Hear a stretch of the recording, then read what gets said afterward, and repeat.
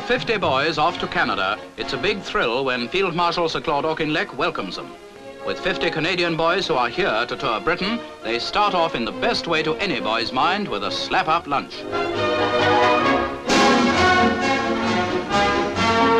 The boys come from all over the country. John Wright lives in Leicester. Roger Pope is a Londoner, and Liverpool claims Maxwell Wilson. For cake, they have Parliament Buildings, Ottawa.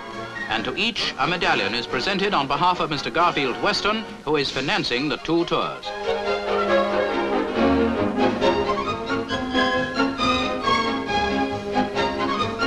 Bob Waugh of Toronto and the Canadian boys speed the British boys on their way as they board the Empress of Scotland. Holiday bound on the same ship is Shane Alexander, son of Canada's Governor-General. And there too, to bring the city's good wishes, is the Lord Mayor of Liverpool with Field Marshal Auchinleck, who is conducting the Dominion Tour.